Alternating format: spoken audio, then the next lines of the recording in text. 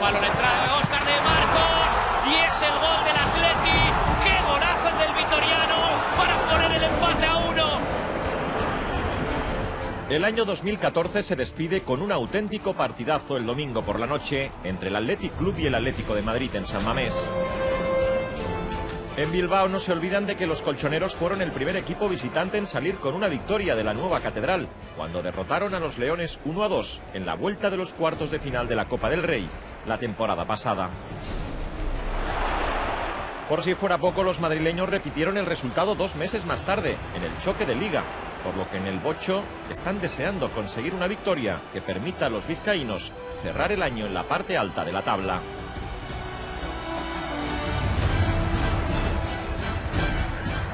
Es cierto que veníamos de una racha extraordinaria y nuestra intención es, pues bueno, volver.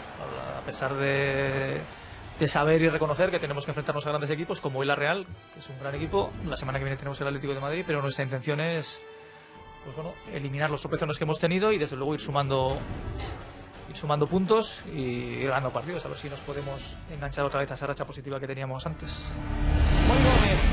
Recortando a Juanfran, balón interior hacia Vieto, Vieto la puede agarrar, ¡qué maravilla! ¡Vieto! El Atlético de Madrid visita San Mamés tras perder su primer partido en casa desde mayo de 2013. El tropiezo ante el Villarreal obliga a los madrileños a ganar en el feudo del conjunto vasco, si no quieren perder de vista a un Real Madrid que ya se encuentra a siete puntos. Puede ser buen remate. Mirando hacia atrás, es muy bonito lo que, lo que hemos hecho, pero hoy contra, contra el hoy y hemos perdido. Eh, estamos tristes, pero sabemos que, que, esta liga es muy difícil, muy competitiva y tenemos que intentar sumar ya el próximo partido.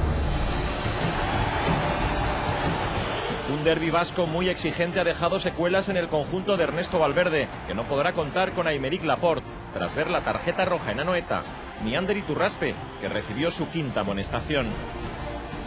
Andón Iraola y Xavi Echeita también son baja por lesión. El Cholo Simeone también tiene dos bajas muy sensibles para la visita a San Mamés.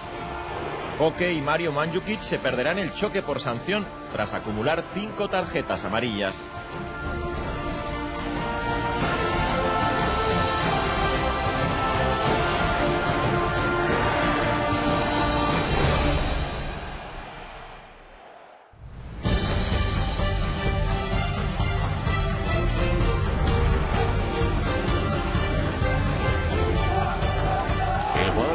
Hace algunos minutos la deja pasar Manu del Moral Andercapa. ¡Golazo! El sábado Ipurúa será el escenario de un duelo inédito entre el Eibar y el Valencia. Ambos equipos nunca se han enfrentado en ninguna competición y los guipuzcoanos pretenden no solo derrotar a un conjunto que lucha por entrar en la Champions, sino acabar el año como el mejor equipo vasco.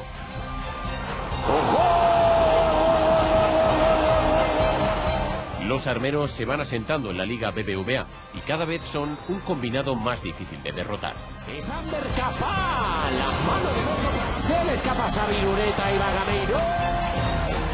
Sí, poco a poco el equipo yo creo que, que, que se está haciendo mejor. Eh, sí que es verdad que en cuanto a puntos siempre hemos estado medianamente bien, pero el equipo cada vez tiene mejores sensaciones. Eh, nos vamos conociendo mejor y, y, sobre todo en el aspecto táctico y de solidaridad, pues creo que el trabajo ha sido buenísimo.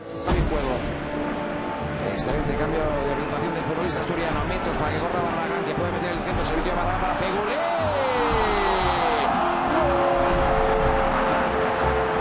El Valencia puso fin a una racha de cuatro jornadas sin ganar con una cómoda victoria en casa frente al Rayo Vallecano la semana pasada. El objetivo de los Che es clasificarse para la Champions de la temporada que viene.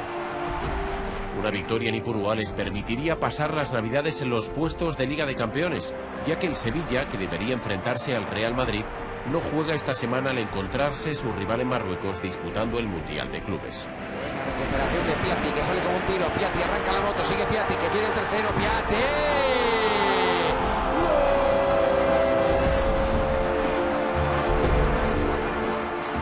Sí, tres puntos, tres puntos fundamentales para nuestro objetivo. O de las rachas es pasado, nueva dinámica, buen, buen partido, una victoria muy importante, tres puntos fundamentales.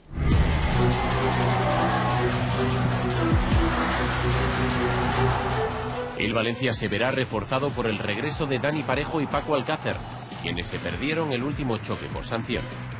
Sin embargo, Nuno no podrá contar con André Gómez, quien fue expulsado frente al Rayo. Gaisca Garitano contará con los mismos futbolistas que consiguieron volver de Sevilla con un empate para intentar dar una nueva sorpresa frente a uno de los equipos más potentes de la Liga BBVA.